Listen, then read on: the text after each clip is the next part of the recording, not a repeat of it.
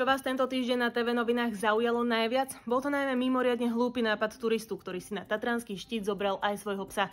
Smutné a mimoriadne nezodpovedné však je, že zviera niesol v taške z Ikei, do ktorej vyrezal otvor pre nohy a hlavu. A takto ho vliekol na ramene pomerne náročným skalnatým výstupom.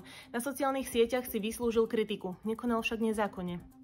V Amerike turistiku povýšil na v ešte vyššiu úroveň brazílsky trestanec. Odsúdenec za vraždu utiekol z pensylvánskej väznice skutočne kuriózne. Vyštveral sa po stenách ako krab a nezastavil ho ani žiletkový drôt. Na Slovensku sa šíri nová droga. Bez problémov sa k nej dostanú aj deti. Môžu si ju jednoducho kúpiť v automatoch v nákupných centrách. Droga má podobné účinky ako marihuana. Obsahuje látku HHCP. Na tvnoviny.sk sa aj naďalej venujeme téme migrácie, ktorá tento týždeň hýbala slovenskou verejnosťou. Crystal.